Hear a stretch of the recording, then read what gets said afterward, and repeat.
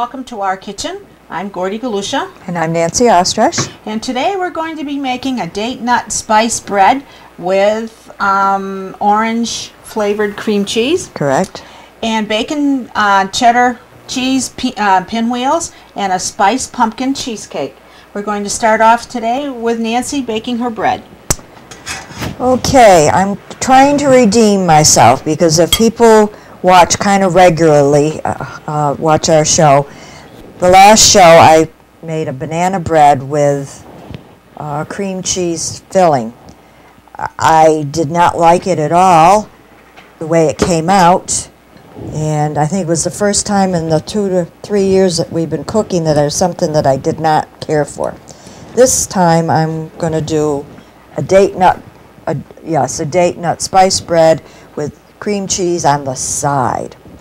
So what you need to do first is you need two cups of uh, chopped dates that have been pitted, or or you buy them already chopped. You can chop them yourself, or you can buy them already. Uh, That's Chopped a better up. way. Buy them already chopped. Chopped. Don't have to worry about it. Stick need- it together. you need about two cups, and the re- a recipe the recipe originally um, calls for marinating the uh, dates in a orange liqueur, like a triple sec. I don't have triple sec on hand, um, so what I did was I just poured a little orange juice over the uh, the dates that I'm using and have let them marinate for 20 to 30 minutes. I stir them around and so that they'll at least have a orange flavor to them. So that that would you would want to do that first. Now to start the bread, I have four tablespoons of butter or margarine that I've softened. I'm going to add three quarters of a cup of brown sugar, light or dark, uh, lightly packed. And I'm going to cream them.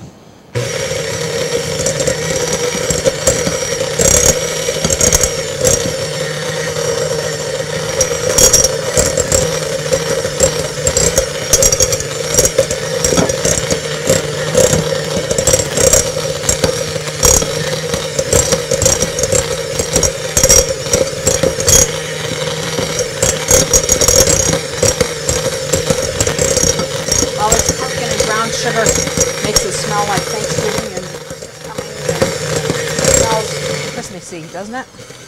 All these Well, that's what flavors that we're using. Right. And these recipes are kind of geared to either uh, having a party and uh, or giving breads at Christmas or Christmas morning for breakfast. So now the margarine and the brown sugar have been uh, creamed, and I'm going to add one large egg, a teaspoon of vanilla extract, and of course the best is to uh, have the real vanilla.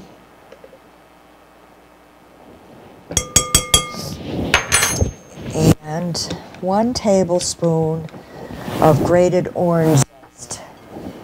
And it takes about two good sized oranges to get enough zest for one tablespoon. Not using all this at this point because I want to add some to the cream cheese I'm going to put together later. And we mix that up.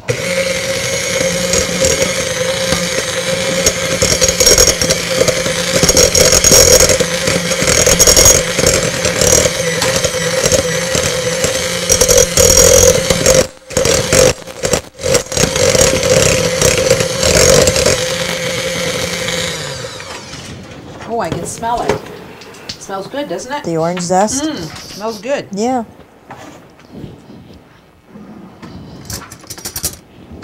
Okay.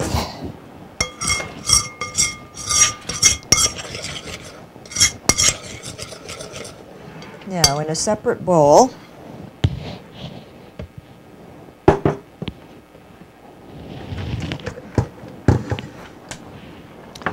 I've got two cups of all-purpose flour. And to that, I'm going to add two teaspoons of baking powder. Wait a second here. Hold on a minute. I'll give you it. What I did was I got the, my one teaspoon wet. Thank you. Okay. One teaspoon, two teaspoons of baking powder.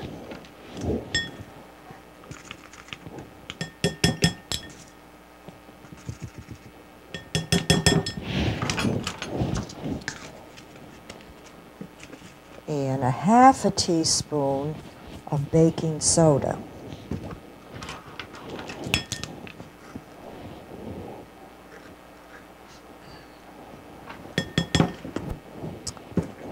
And then I have a mix of one teaspoon of cinnamon, one teaspoon of nutmeg, a quarter of a teaspoon of ground cloves, which I'm going to add and then one teaspoon of salt.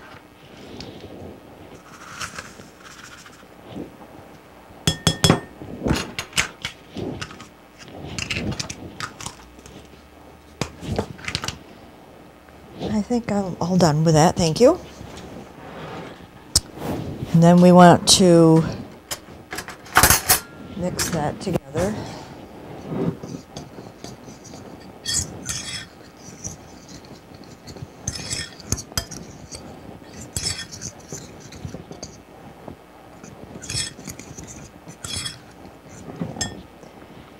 For some more liquid,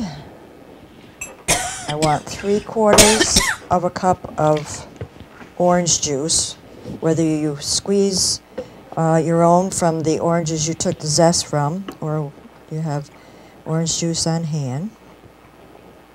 Three quarters of a cup. And we bring back the uh, brown sugar and margarine. And we're going to alternately add these, the flour and the orange juice, to this mixture.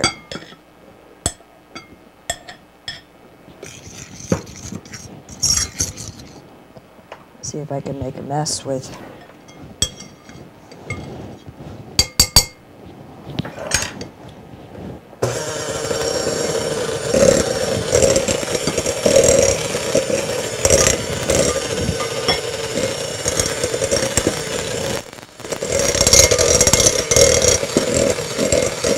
a little orange juice.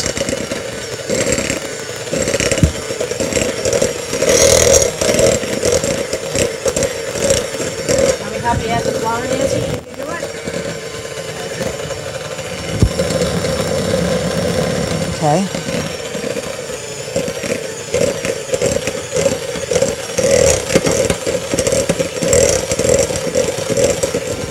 A little more orange juice. Yeah.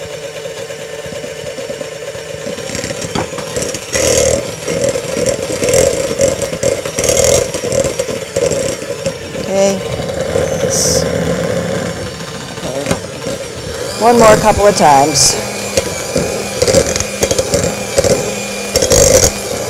Okay, add about half of it. That's.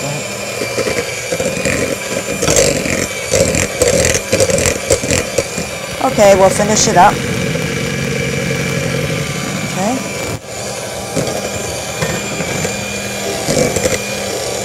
You can pour in the orange. All of it? Yep. Okay.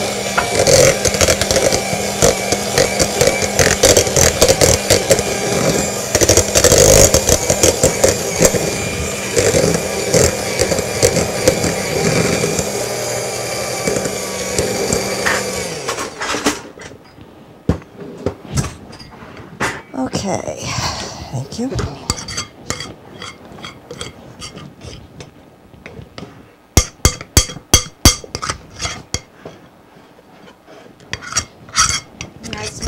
Good with that orange zest, Mmm. doesn't it? Yep. And orange juice. Mm. Unfortunately, we don't have smell-o-vision. Okay, time to add the dates.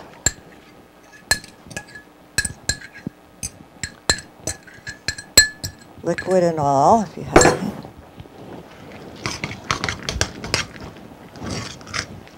And three quarters of a cup of chopped pecans. Or walnuts if you prefer.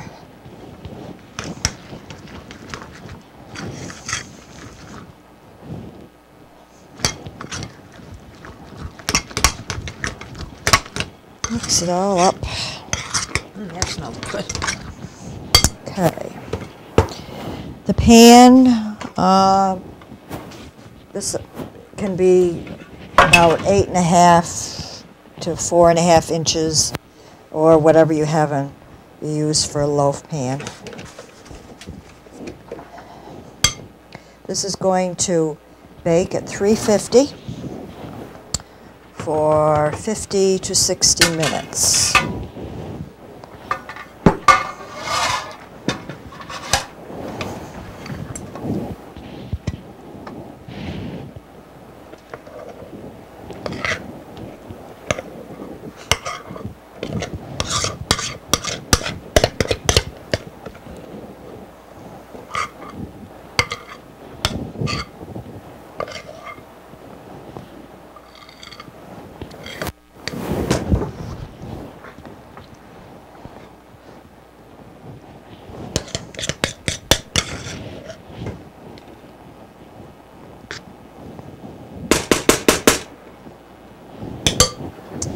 Okay, into the oven. And we'll be making the cream cheese later, but right now we're going to go back to Gordy and she'll start her. Okay, today I'm going to be making a spiced pumpkin cheesecake. Uh, I made one this morning, and it was supposed to be made out. It was made out of uh, ginger snaps. I put them in my um, food processor, and it jumped right off the counter. They were so hard. So this time I'm cheating. I'm using graham crackers, and in here I am going to put a quarter of a cup of margarine. I have a cup and three quarters of um, graham cracker crumbs, and I have a quarter of a cup of real fine um, pecans. And I'm going to mix that together for the crust.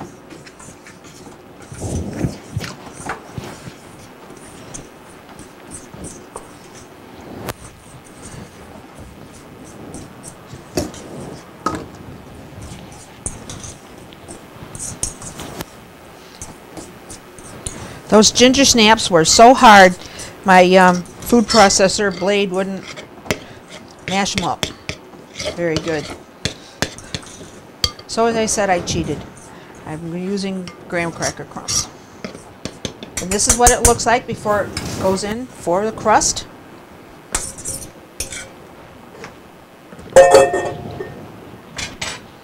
And you take a cup and you just flatten it down like this. You want it in a pan that you can take out.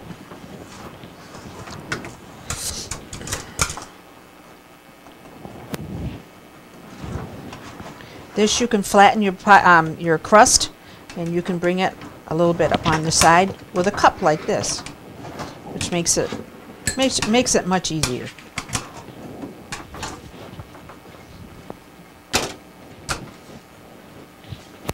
And you just pat it down to make sure that it's nice and firm.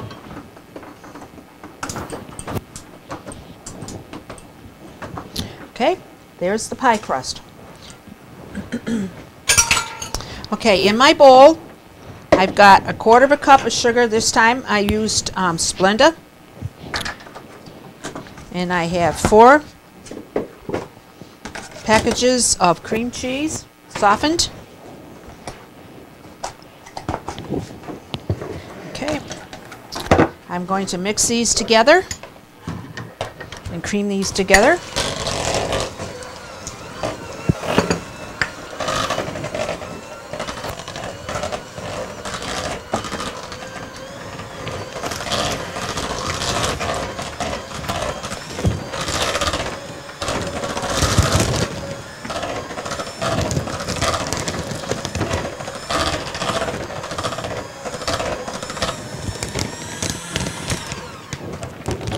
To this, I'm going to add a 15 ounce can of pumpkin.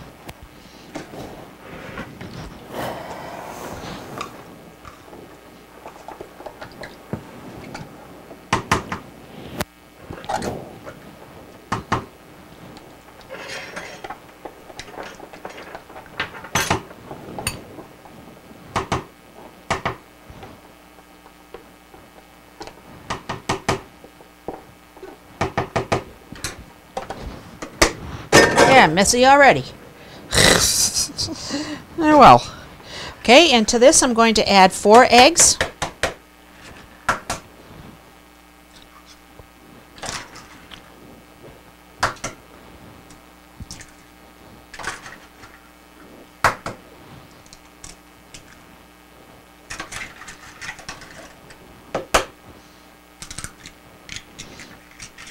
A tablespoon of pumpkin pie spice, a teaspoon of vanilla,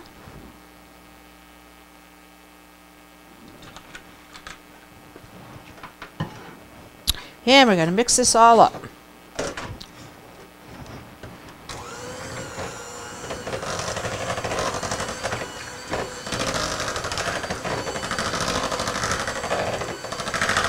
This is a very easy cheesecake put together. Only if you don't use ginger snaps.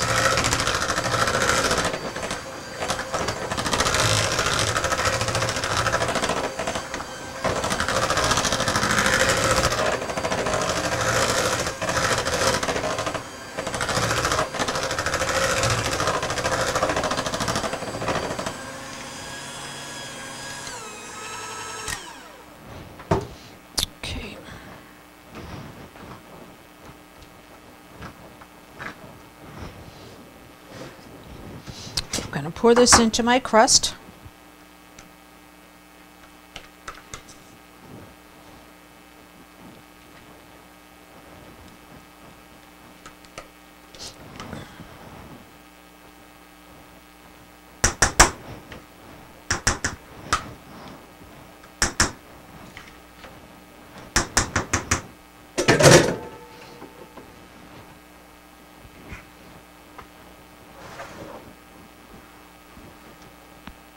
Just smooth it all out so it's nice smooth on top so it will bake evenly.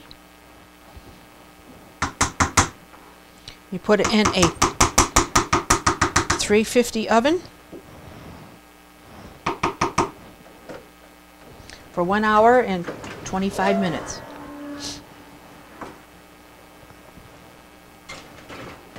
Okay, time that.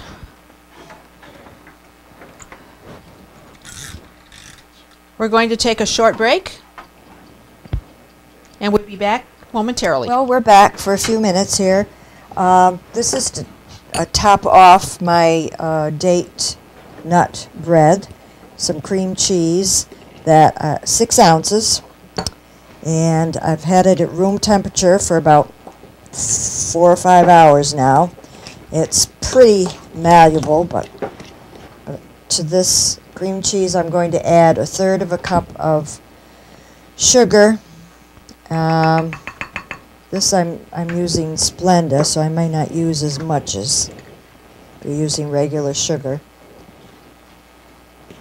This is going to be an orange flavored cream cheese.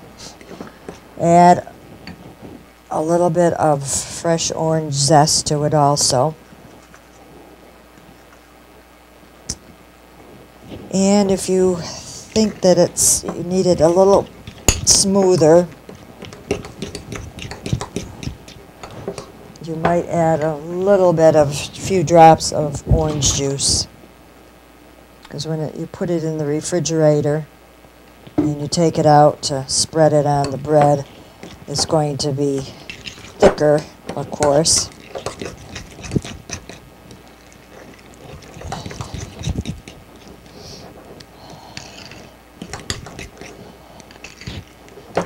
So let's take a little, see if it's. Ina does this. She takes. Sure she does. That's okay. So that's um, if you use the Splenda, don't use uh, a whole third of a cup of sugar, and then uh, flavor it with some orange zest and a little bit of orange juice, a few drops. So this will go with our uh, date nut bread. And how about you, Gordy? You I'm all ready to go. An appetizer for a party? Okay, this is um, a bacon cheddar cheese um, pinwheels, and you take a car um, a roll of crescent rolls. You take them out, and hopefully you'll get them out without too much of a problem. And you um, push the perforated lines together.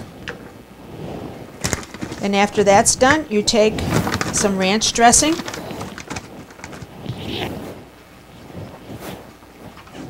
And spread it on your crust.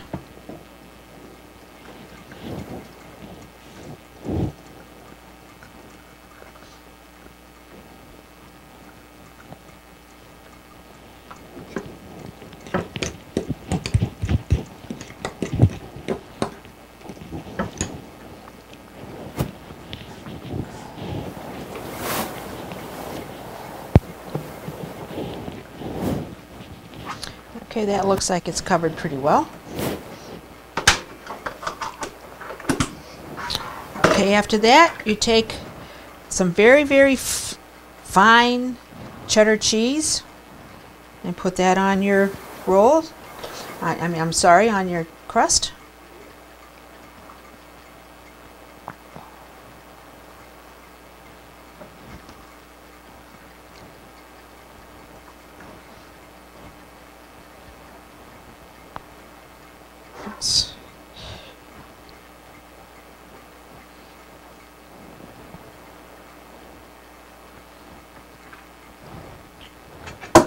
Next, I'm going to put some green onions on here for our green for our onion lover.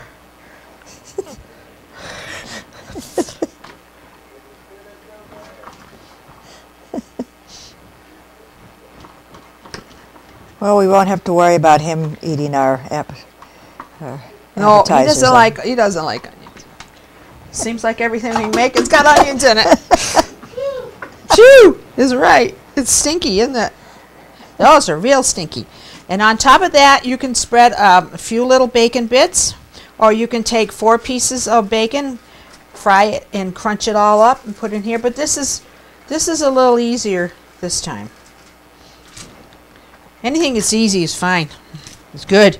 And you take your your end here and you start to roll it up. Hopefully, they'll come together like it should. Be very careful that the perforations don't come apart. Because we can't seem to get the full sheet anymore. Can't seem to. Well, I've looked. They pro- they may have it at Stop and Shop, but they don't sell it at Price Chopper. It's coming off. Try to get it up there as much as I can. Okay. Oh dear. Okay. I take a serrated knife and cut these down in pinwheels and put them on your sheet. Seam down.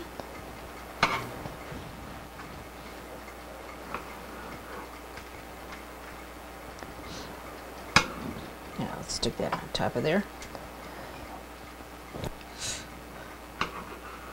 I'm cutting on this counter without anything underneath it.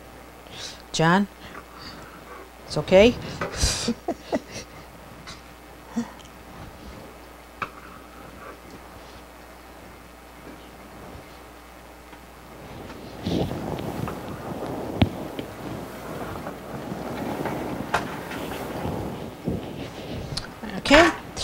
do the other one the same way.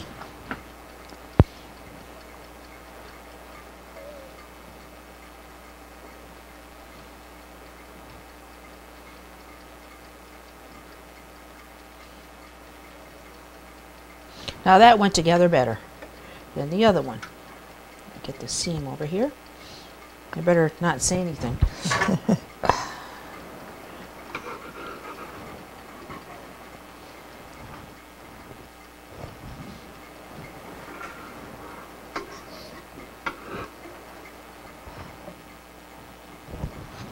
these will cook for how long, Gordy? These will cook for between 12 and 17 minutes. At a 350 oven. 350 oven.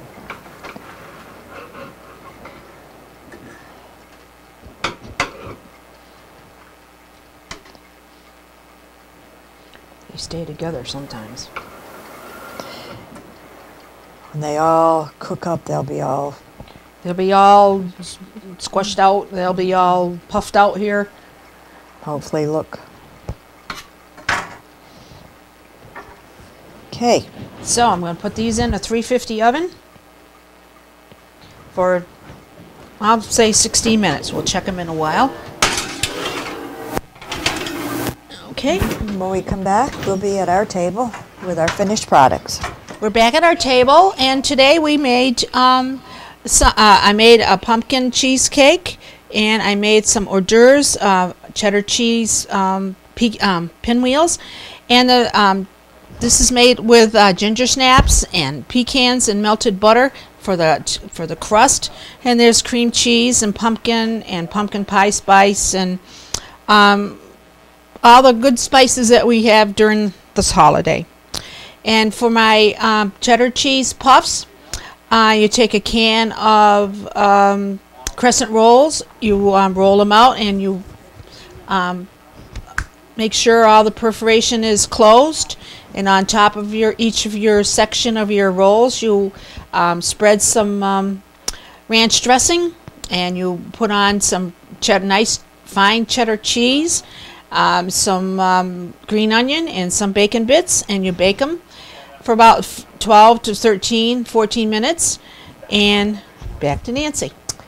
Well, the thing that I made today was another bread. Hopefully, this one looks much better than one I did the uh, last week.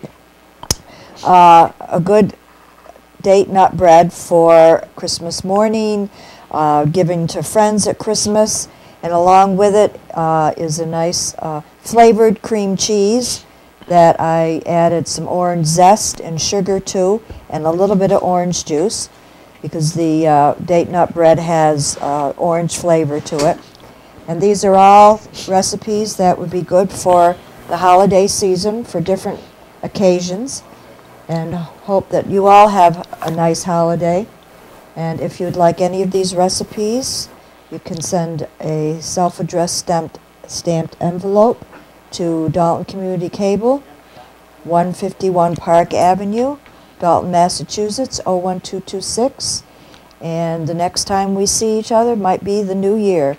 Happy holidays.